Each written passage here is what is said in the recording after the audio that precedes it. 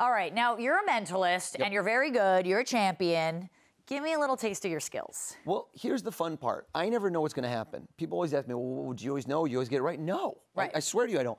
Imagine this right now. I'm sitting on this couch. You're with me. People, TV. Switch gears. What if instead of me, you take me out of here, you throw me away? You, right now, close your eyes. Okay. And picture somebody sitting here in my stead. Now, here's what I want you to do. I want you to imagine someone famous. Okay, I call this bucket list, and I'm going to make this a hypothetical. This person could be male or female, equal opportunity, alive or dead. The choice is yours because we're dreaming up the scenario. Okay. Can you picture your person right now? Yes. Now, open your eyes.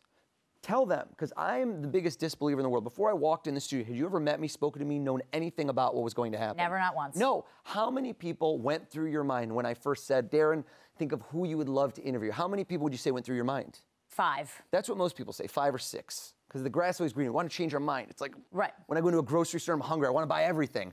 But then you zeroed in on one person. And I want to show you the way your mind works. Okay.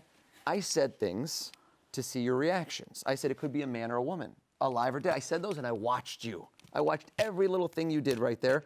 And what I'd like you to do is please close your eyes. Okay. Okay. I just want to show the camera. I want them to see. I don't want to go one step at a time. Open your eyes. 50 50, not that impressive. Is this a woman or a man? A woman. I knew you would go with a woman. I knew you would. Next up, think again. There we go. Close your eyes.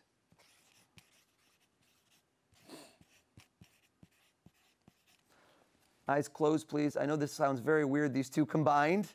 Can we see that tight? We get a tight shot on there. Bam, bam, bam. Open your eyes. Mm-hmm. Is this person alive or dead? Dead. And I'm going to hand this to you. And if you had to describe this woman in just one word, okay, I'm going to give this to you before I go further. Hold on to it. Okay. Not looking at this. If you had to describe her, just one word, bam, I don't know, it's impulsive, whatever you would have said, not the name, but in one word, what word would you have used? Hilarious. Okay, great. Open up the piece of paper, and I want you to see every single thing I wrote. I wrote, woman, dead, funny. Who are you picturing? I was gonna go with funny. Doesn't matter. Hilarious works for me. This isn't a magic show. Can I say the name? Please. Lucille Ball. Lucille Ball would have been sitting here. Oh, I'm done. I'm done. You have messed with my mind. Is it okay? Is it okay? Well, now I want to pick a man.